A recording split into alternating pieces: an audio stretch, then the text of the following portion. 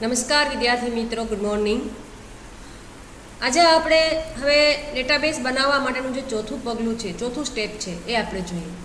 આગળ આપણે ત્રણ સ્ટેપ જોઈ ગયા. સૌપ્રથમ પહેલું સ્ટેજ સ્ટેપ છે, એ ડેટાબેઝ વ્યાખ્યાયિત કરી અને એન્ટિટી એટલે કે કેટલા ટેબલ બનાવવાના છે, એ નક્કી કરવાનું. બીજા સ્ટેપમાં દરેક ટેબલની લાક્ષણિકતા એટલે કે એટ્રીબ્યુટ નક્કી કરવાના, કઈ કોલમમાં કઈ વિગત ઉમેરવાની છે તે.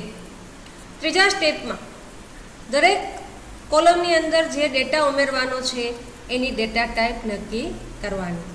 એ આપણે જોઈ ગયા કે મુખ્ય ત્રણ પ્રકારની ડેટા ટાઈપ છે. Alphanumeric data type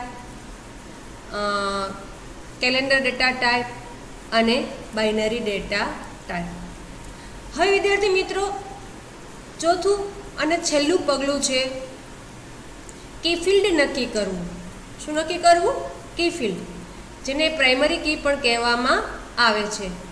હવે આપણે જે ટેબલ ડિઝાઇન કરીએ છીએ, એ ટેબલનું દરેક ટેબલની અંદર એક કી ફિલ્ડ એટલે કે પ્રાઇમરી કી તરીકે એક ફિલ્ડ છે, એ આપણે નક્કી કરવું જોઈએ. એની કેટલીક શરતો છે કે આ ફિલ્ડને પ્રાઇમરી કી નક્કી કરવી. તો કે દરેક ટેબલની અંદર એક ફિલ્ડ એવું હોય કે જેની અંદર યુનિક જોડ કિંમત આવતી હોય. મતલબ એક કિંમત એક જ વખત આવતી હોય. બીજું, એ નલ વેલ્યુ ન હોય, એટલે કે એની અંદર કોઈ રેકોર્ડમાં એ ખાલી ન હોવું જોઈએ. એ ફિલ્ડ છે, એની અંદર દરેક રોમાં એક કિંમત આવતી હોવી જોઈએ. એવું ફિલ્ડ પસંદ કરવાનું કે જેની કિંમત યુનિક હોય, અજોડ હોય અને એની અંદર એક ખાલી હોવું જોઈએ નહીં, એટલે કે નલ વેલ્યુ હોવી જોઈએ નહીં. એવા ફિલ્ડને કી ફિલ્ડ તરીકે પસંદ કરવું જોઈએ. અહીંયા અંડરલાઇન કરજો, આગળ પણ આવશે કે ડિઝાઇન કરેલા ટેબલનું કી ફિલ્ડ નક્કી કરો. ટેબલનું એ ફિલ્ડ જેની અજોડ અગત્યતા હોય તે કી ફિલ્ડ તરીકે ઓળખાય છે. હવે વિદ્યાર્થી મિત્રો, કી ફિલ્ડની જરૂર શું? શા માટે કી ફિલ્ડ ઉમેરવું જોઈએ?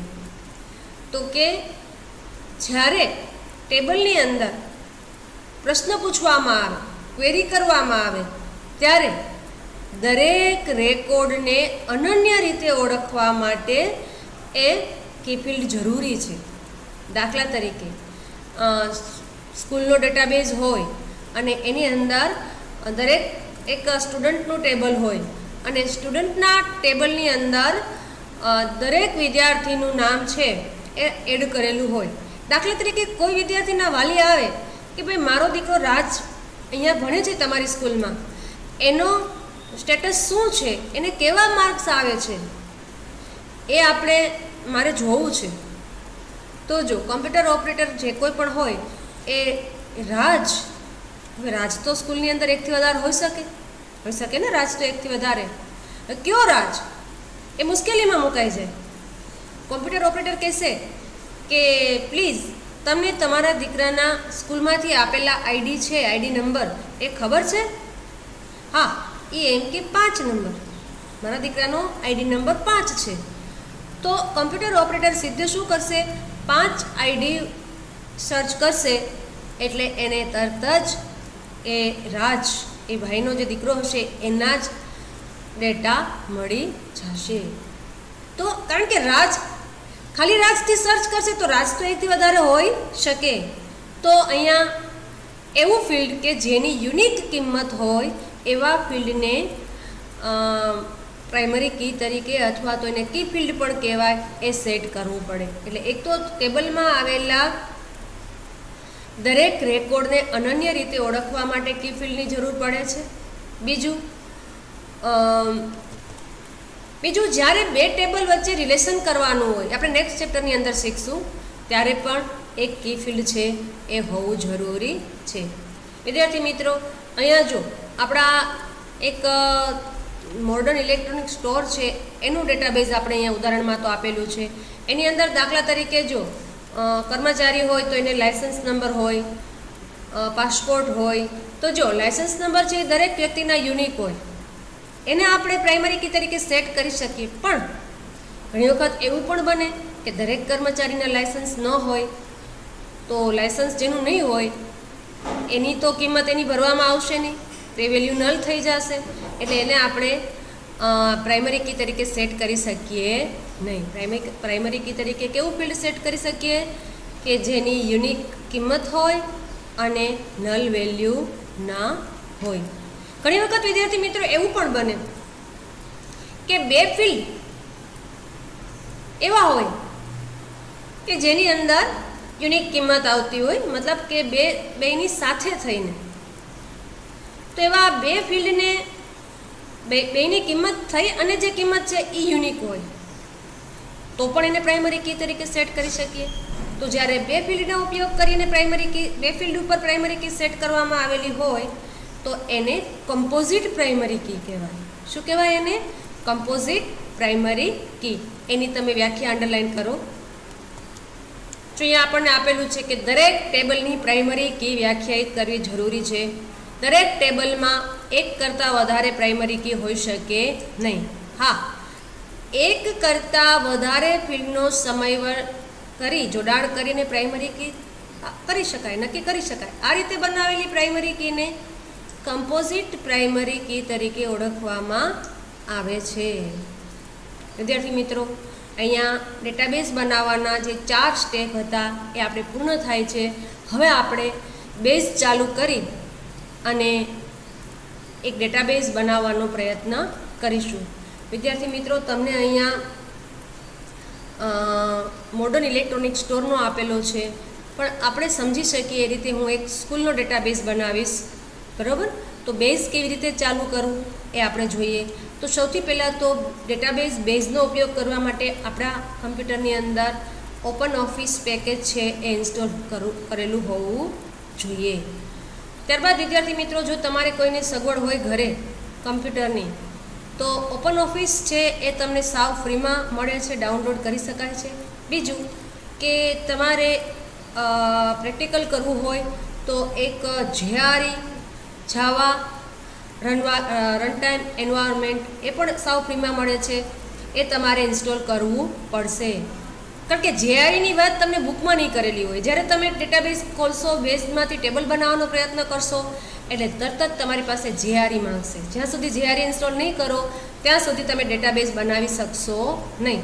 હા, ઓપન ઓફિસના બીજા સોફ્ટવેર તમે રાઇટર છે, ઇમ્પ્રેસ છે એ બધા તમે ચાલુ કરી શકો, પણ ડેટાબેઝ બનાવી શકશો નહીં. એટલે ખાસ તમને સૂચના છે કે જો તમે ઘરે પ્રેક્ટિકલ કરો, તો જે આરી ડાઉનલોડ કરી અને ઇન્સ્ટોલ કરવું. આ રીતે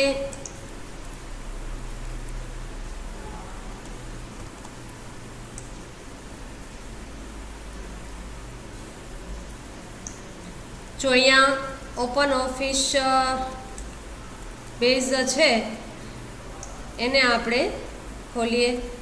Open office writer impress draw Calc અને ઓપન ઓફિસ અહીંયા બેઝ છે, જો. આ ઓપન ઓફિસ બેઝ આપણે ખોલશું. હવે, પહેલાં એને આપણે વ્યાખ્યાયિત કરવું પડશે. શું કરવું પડશે? વ્યાખ્યાયિત. જો આ રીતે એનો ડેટાબેઝનો વિઝા વિઝાર્ડ ખુલશે. હવે એમાંથી અહીંયા આપણને બે સ્ટેપ આપેલા છે ડેટાબેઝ વિઝાર્ડની અંદર. સિલેક્ટ ડેટાબેઝ ને સેવ એન્ડ પ્રોસીડ તો જો, સૌપ્રથમ what do you want to do તમે શું કરવા ઈચ્છો છો? એમાં બે રેડિયો બટન આપેલા છે. ક્રિએટ એન ન્યૂ ડેટાબેઝ અને open an existing database file તો આપણે નવો ડેટાબેઝ બનાવવાનો હોય, તો આપણે ક્રિએટ એ ન્યૂ ડેટાબેઝ પસંદ કરવાનો. અને આ ઓપન બનાવેલો છે ખોલવો હોય તો ઓપન એન્ડ એક્ઝાઇટિંગ જો એ તમે કરશો એટલે અહીંયા ડેટાબેઝ તમે જેટલા બનાવેલા હશે, એનું લિસ્ટ આવી જશે. પણ આપણે નવો બનાવવાનો છે, એટલે ક્રિએટ એ ન્યૂ ત્યારબાદ આપણે નેક્સ્ટ કરશું, એટલે બીજો વિન્ડો બીજો સ્ટેપ આવશે. Do you want the wizard to register the database in open office તમે તમારા ડેટાબેઝને ઓપન ઓફિસની સાઇટ ઉપર રજિસ્ટર કરાવવા ઈચ્છો છો? તો એમાં આપણે નહીં, શું કરવાનું છે? નહીં. જો આપણે આપણો ડેટાબેઝ જાહેર કરવા માંગતા હોય પબ્લિક કરવા માંગતા હોય, બધા લોકો એને જોઈ શકે એવું ઈચ્છતા હોય તો યસ કરવાનો. ત્યારબાદ ફિનિશ હવે જો, અહીંયા આપણે સૌથી પહેલાં આપણે ડેટાબેઝનું આપણે નામ આપવાનું. આપણે આપણી સ્કૂલનું નામ આપી દઈએ. B R H Brahmanand Vidya Mandir એના વિદ્યાર્થી મિત્રો આપણે બે શબ્દને છૂટા પાડવા હોય તો આપણે અંડરસ્કોર આપશું અને કઈ જગ્યાએ તો કે આપણે ડેસ્કટોપ ઉપર અથવા તો ડોક્યુમેન્ટમાં સેવ કરવો છે તો સેવ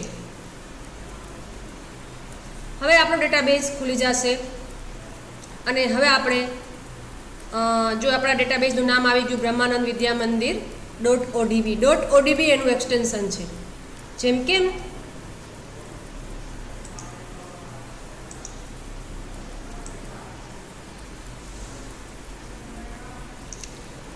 હવે અહીંયા આપણે બે રીતે ડેટાબેઝ બનાવી શકશું. ડિઝાઇન વ્યૂ અને વિઝાર્ડ ડિઝાઇન વ્યૂ અને વિઝાર્ડ તો સૌપ્રથમ આપણે વિઝાર્ડ દ્વારા કેવી રીતે ડેટાબેઝ બનાવાય એ આપણે જોઈશું. તો અહીંયા પહેલાં વિઝાર્ડ પસંદ કરશું. વિઝાર્ડની અંદર શું હોય? સ્ટેપ હોય. શું હોય? સ્ટેપ હોય. એ ડિઝાઇન વ્યૂ કરતાં થોડું સહેલું હોય. જો અહીંયા ડિઝાઇન વ્યૂ દ્વારા ટેબલ બનાવવા માટેના ચાર સ્ટેપ છે. સૌપ્રથમ કેટેગરીમાં બે વિકલ્પ આવશે બિઝનેસ કે પર્સનલ તો અહીંયા આપણે સ્કૂલ છે, એ બિઝનેસ છે. તો એના માટે બિઝનેસ ડેટા રેડિયો બટન આપણે પસંદ કરશું. પછી અહીંયા જો, સેમ્પલ ટેબલનું લિસ્ટ આપેલું હશે. શું આપેલું હશે? સેમ્પલ ટેબલનું લિસ્ટ. વિદ્યાર્થી મિત્રો, અહીંયા આપણે સ્ટુડન્ટ ટેબલ છે, એવું આની અંદર હશે નહીં. પણ હું તમને હવે આપણે માની લો કે મોડર્ન ઇલેક્ટ્રોનિક સ્ટોર છે, એનું જ એક ટેબલ બનાવી અને આપણે જોઈ લઈએ. દાખલા તરીકે એની અંદર સપ્લાયર નામનું ટેબલ છે. સપ્લાયર તો જો, આ સપ્લાયર ટેબલ પસંદ કરશું. સપ્લાયર ટેબલ આપણે પસંદ કરીએ, એટલે અહીંયા એના ફિલ્ડ તૈયાર આવી જાય. જો બધા ફિલ્ડ તૈયાર સપ્લાયરને લગતા ફિલ્ડ કેટલા છે એના એટ્રીબ્યુટ કેટલા છે, એ આની અંદર આવી જશે. આ વિદ્યાર્થી મિત્રો, આ બધા જ આપણે ફિલ્ડ જોતા હોય તો આ ડબલ એરો કરી દેવાનો. તો આપણે ટેબલમાં બધા ફિલ્ડ ઉમેરાઈ જશે. જો બધા ના જોતા હોય, તો આપણે પસંદ કરી અને આપણે એને એક એકને લઈશું દાખલા તરીકે સપ્લાયર આઈડી પછી સપ્લાયર નેમ સપ્લાયર નેમ જો એક એક પસંદ કરશું, તો આ રીતે આપણે એરો લેવાનો. ત્યારબાદ એનું એડ્રેસ. એનું સિટી. પછી એના ઈમેલ એડ્રેસ. પછી એના ફોન નંબર. બસ, આ sorry, phone number. Email address નથી લેવું. આટલા જ ફિલ્ડ આપણે જોઈએ છીએ. તો પહેલાં ફિલ્ડમાં આપણે શું નક્કી કર્યું?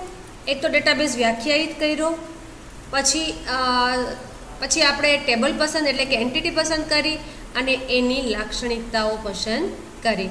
નેક્સ્ટ કરશું એટલે બીજું સ્ટેપ આવશે. સેટ ટાઈપ એન્ડ ફોર્મેટ હવે એનો ડેટાનો પ્રકાર આપણે નક્કી કરવાનો છે. સપ્લાયર આઈડી તો સપ્લાયર આઈડી જો અહીંયા ડેટા ટાઈપ આપેલી છે ફિલ્ડ ટાઈપ એટલે ડેટા ટાઈપ આ રીતે અહીંયા આપણે જે ડેટા ટાઈપ શીખા ત્રણ પ્રકારની ડેટા ટાઈપ મુખ્ય હતી, એમાંથી તમામ પ્રકારની ડેટા ટાઈપ છે એ આની અંદર આવી જશે. હવે સપ્લાયર આઈડી છે.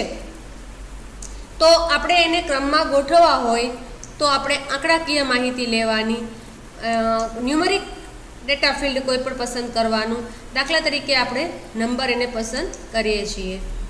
ત્યારબાદ સપ્લાયર નેમ તો સપ્લાયર નેમ છે. એ અક્ષર ટેક્સ સ્વરૂપની જે ચાર આપણે જોઈ હતી મેમો ટેક્સ ટેક્સ ફિક્સ અને ટેક્સ ઇગ્નોર કેસ તો હવે નામ તો ગમે એટલા અક્ષરનું હોઈ શકે. નામ, નાના, નામ છે એ સર્ચમાં પણ વપરાઈ શકે. તો આપણે કઈ ડેટા ટાઈપ પસંદ કરવી જોઈએ? ટેક્સ ઇગ્નોર કેસ જોઈએ અહીંયા આપણે. Text text fix text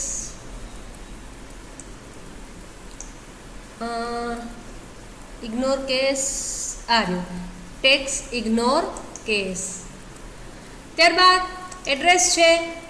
એ પણ આપણે ટેક્સ ઇગ્નોર કેસ જ રાખીશું. સિટી છે. એ પણ આપણે ટેક્સ ઇગ્નોર કેસ રાખીશું.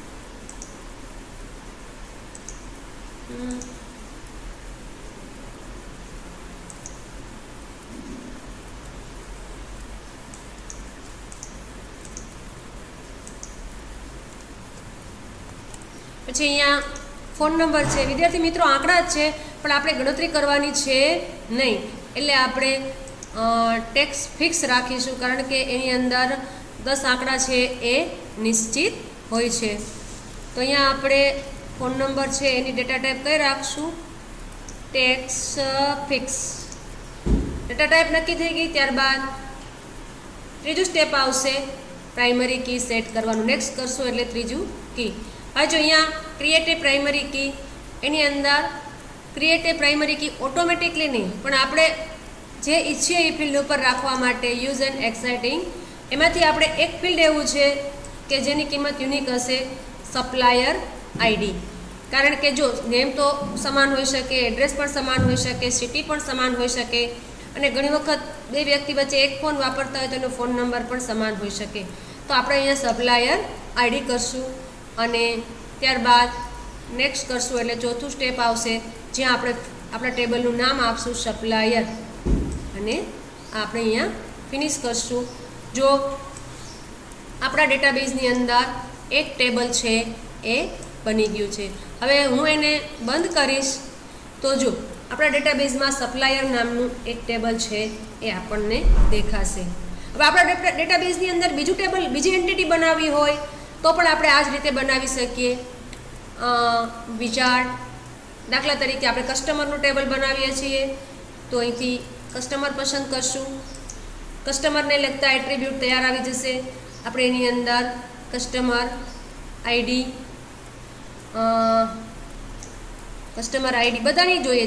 જેટલા જોઈએ છે એટલા ફિલ્ડ લઈએ છીએ. કસ્ટમર આઈડી કસ્ટમર નેમ અહીંયા આપણને એનું ફર્સ્ટ નેમ ફર્સ્ટ નેમ પછી લાસ્ટ નેમ અને એનું સિટી અને એના મોબાઈલ નંબર ત્યારબાદ આપણે ડેટા ટાઈપ પસંદ કરીશું. કસ્ટમર આઈડી છે, એટલે અહીંયા આપણે નંબર કરીશું. ત્યારબાદ આ બધી પ્રોપર્ટી છે આપણે નેક્સ્ટ ચેપ્ટરની અંદર શીખવાની છે પ્રોપર્ટી સેટ કરવાની. ત્યારબાદ ફર્સ્ટ નેમ છે, તો એનું શું રાખીશું આપણે? ટેક્સ ઇગ્નોર કેસ કારણ કે નામ ઉપરથી આપણે સર્ચ કરવું હોય. લાસ્ટ નેમ છે એની પણ આપણે કઈ રાખશું? ટેક્સ ઇગ્નોર કેશ સિટી છે, એનું પણ આપણે કઈ રાખશું? ટેક્સ ઇગ્નોર કેશ અને મોબાઈલ નંબર છે, એનું રાખશું ટેક્સ ફિક્સ કારણ કે દસ આંકડા નક્કી હોય છે. નેક્સ્ટ અહીંયા આપણે પ્રાઇમરી કી કઈ રાખશું?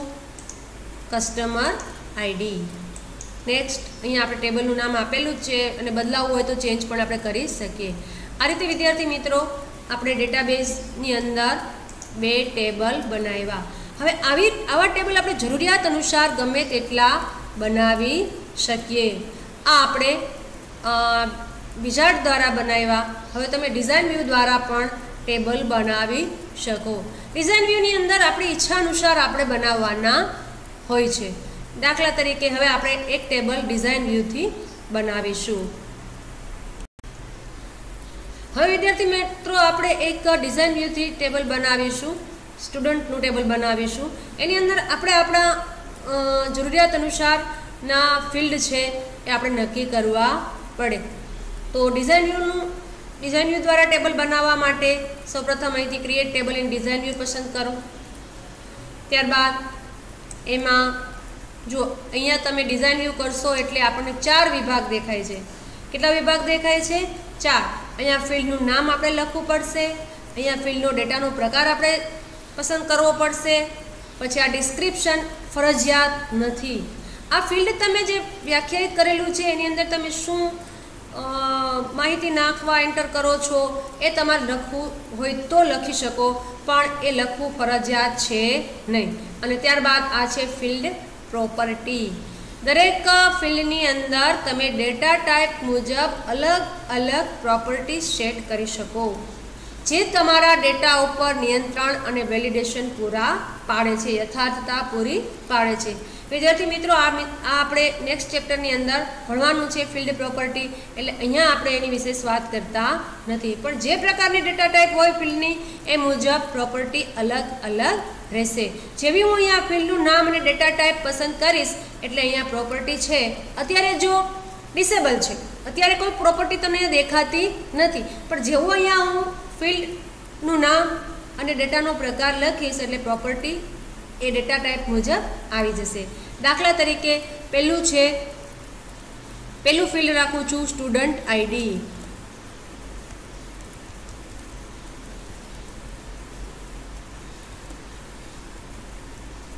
વિદ્યાર્થી મિત્રો, આ મેં કેમલ કેસ પદ્ધતિ લીધેલી છે. હવે જો હું આમ રાખી શકીશ નહીં. આપણે આગળ શીખી ગયા છીએ એટ્રીબ્યુટ નેમની અંદર લોજિકલ નેમ અને ફિઝિકલ નેમ દાખલા તરીકે સ્ટુડન્ટ આઈડિયા સ્પેસ વચ્ચે રાખી શકાય નહીં. આપણે બે શબ્દને છૂટા પાડવા હોય તો આપણે કઈ નિશાનીનો ઉપયોગ કરી શકીએ છીએ? નિશાનીનો ઉપયોગ કરવો હોય તો માત્ર ને માત્ર અંડર સ્કોર અથવા તો કેમલ કેસ પદ્ધતિ દ્વારા પણ તમે પસંદ કરી શકો. સ્ટુડન્ટનો આઈડી છે, એ ક્રમ આપવાનું હોય, તો આપણે અહીંથી જો અહીંયા ડેટા ટાઈપ છે, એનું લિસ્ટ આવશે, તો અહીંયા આપણે ન્યુમરિક ડેટા ટાઈપ પસંદ કરવી પડશે. આપણે નંબર પસંદ કરી દઈએ. નંબર જો ફિલ્ડ પ્રોપર્ટી આવી ગઈ. આ નંબર ડેટા ટાઈપની ત્રણ ફિલ્ડ પ્રોપર્ટી છે. પ્રોપર્ટી સેટ કરતો આપણે નેક્સ્ટ ચેપ્ટરની અંદર શીખશું. પહેલું ફિલ્ડ આપણે પસંદ કર્યું, એની ડેટા ટાઈપ પસંદ કરી. ત્યારબાદ બીજું ફિલ્ડ છે નેમ તો નેમ છે, એમાં ટેક્સ ચાર જે ડેટા ટાઈપ છે ટેક્સ પ્રકારની, એમાંથી આપણે ઇગ્નોર કેસ રાખશું, કારણ કે સર્ચમાં પણ વપરાતું હોય છે. ત્યારબાદ ત્રણ વિષયના માર્ક્સ મેથ્સ હવે ગણતરી કરવાની હોય છે, એટલે ન્યુમરિક ડેટા ટાઈપ આપણે પસંદ કરશું. હવે ડેટા ટાઈપ છે એ તમે માર્ક્સ તો આપણે સોની અંદર જ હોય. તો આપણે આગળ ડેટા ટાઈપ જોઈ છે. સ્મોલ ઇન્ટીજર કઈ ડેટા ટાઈપ રાખશું આપણે? સ્મોલ ઇન્ટીજર અથવા તો માર્ક્સ તમને પોઈન્ટમાં પણ આવે છે. તો સ્મોલ ઇન્ટીજર છે તો પૂર્ણાંક સંખ્યા જ સાચવવા દેશે. તો આપણે શું કરશું? ફ્લોટ આ ફ્લોટ ડેટા ટાઈપ આપણે પસંદ કરીશું. જે આપણને અપૂર્ણાંક સંખ્યા પણ સ્ટોર કરવા દે. ત્યારબાદ ફિઝિક્સ. એમાં પણ આપણે ફ્લોટ ડેટા ટાઈપ પસંદ કરશું. કેમેસ્ટ્રી. એમાં પણ આપણે ફ્લોટ ડેટા ટાઈપ પસંદ કરશું. રિયલ કરો તો પણ ચાલે. અને ત્યારબાદ તમારા એડ્રેસ માટે સિટી. આપણે ટેબલ બનાવીએ છીએ. હજી એમાં ડેટા એન્ટર કરવાનું કામ તો બાકી છે. સિટીની અંદર આપણે ટેક્સ ઇગ્નોર કેસ રાખીશું. વિદ્યાર્થી મિત્રો, અહીંયા આપણે પ્રાઇમરી કી અહીંયા સેટ કરવી પડશે. દાખલા તરીકે, નહીં તો જો બેઝ શું કરશે, એની મેળાએ એક ફિલ્ડ ઉમેરી દેશે. હવે સ્ટુડન્ટ આઈડી છે, એ હવે યુનિક ફિલ્ડ ક્યુ? તો કે સ્ટુડન્ટ આઈડી કારણ કે નામ તો સમાન હોય માર્ક્સ પણ સમાન હોઈ શકે. અને દરેક વિદ્યાર્થીને આઈડી હોય જ, એટલે એ ફિલ્ડની કિંમત નલ વેલ્યુ પણ હોઈ શકે નહીં. હવે અહીંયા આપણે પ્રાઇમરી કી આપવા માટે શું કરશું? આ અહીંયા આપણે આને પસંદ કરી અને રાઇટ ક્લિક કરવાનું અને પ્રાઇમરી કી પ્રાઇમરી કી કરશો એટલે જો અહીંયા કીનું નિશાન છે એ આવી જશે. અને પછી આપણે ડેટાબેઝને આપણે સોરી ટેબલને આપણે સેવ કરશું. એટલે આપણને નામ પૂછશે, તો અહીંયા આપણે સ્ટુડન્ટ એવું નામ આપી દઈશું ટેબલનું. ઓકે અને હવે આપણે એને બંધ કરી શકીએ. હવે જોઈ શકો છો તમે કે આપણા ડેટાબેઝની અંદર ટોટલ કેટલા ટેબલ થઈ ગયા? ત્રણ ટેબલ થઈ ગયા. વિદ્યાર્થી મિત્રો, આ રીતે આ ચેપ્ટરની અંદર આપણે ડેટાબેઝ એટલે શું ડેટા એટલે શું, માહિતી એટલે ઇન્ફોર્મેશન એટલે શું ડેટાબેઝ બનાવવા માટે ના સ્ટેપ કેટલા અને કેવી રીતે ડેટાબેઝ બનાવાય, એ આપણે આ ચેપ્ટરની અંદર શીખા. અહીંયા આપણે આ ચેપ્ટર પૂર્ણ કરીએ છીએ. નેક્સ્ટ ચેપ્ટર આપણે ટેબલનું, આખું ચેપ્ટર ટેબલનું જ છે. ધન્યવાદ. વિદ્યાર્થી મિત્રો, અહીંયા એક બાબત આપણે કહેવાની રહી ગઈ કે આ ઓબ્જેક્ટ છે, એમાંથી કોઈ તમારે ઓબ્જેક્ટ દૂર કરવો હોય, એટલે કે કોઈ ટેબલ દૂર કરવું હોય, તો કેવી રીતે કરી શકશો? તો કંઈ નહીં કરવાનું. અહીંયા આપણે રાઈટ ક્લિક કરવાનું જે ટેબલ પસંદ ડિલીટ કરવું છે એના પર રાઈટ ક્લિક કરી અને આપણે ડિલીટ કરી દેવાનું એટલે ઓબ્જેક્ટ દૂર થઈ જશે. હવે આપણો અહીંયા બીવીએમ નામનો જે ડેટાબેઝ છે, એની અંદર બે ટેબલ છે અથવા તો તમે બે ઓબ્જેક્ટ પણ કહી શકો, બે એન્ટિટી પણ કહી શકો. ધન્યવાદ.